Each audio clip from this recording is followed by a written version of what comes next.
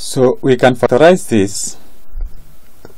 And because the coefficient of x squared is not equals to 1 we first of all make it 1 by dividing throughout by 3 so we have 3x squared minus 15x plus 18 so we divide by 3 throughout.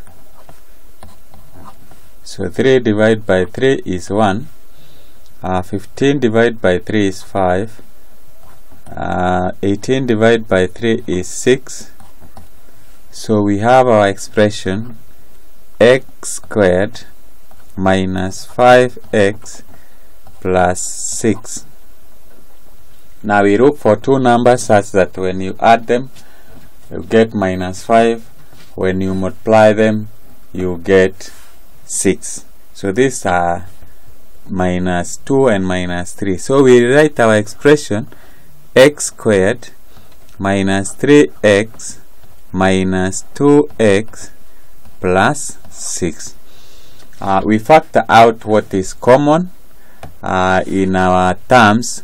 So x squared and 3x x is common. So we have x outside the bracket.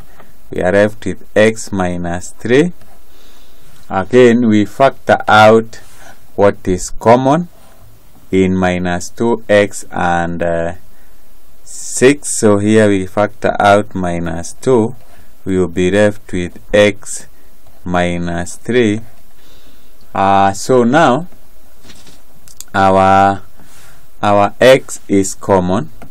Our x minus 3 is common in both terms. So we factor it out. x minus 3 close the bracket uh, and here we will be left with x and minus 2 so we have x minus 2 so that is how you factorize that quadratic expression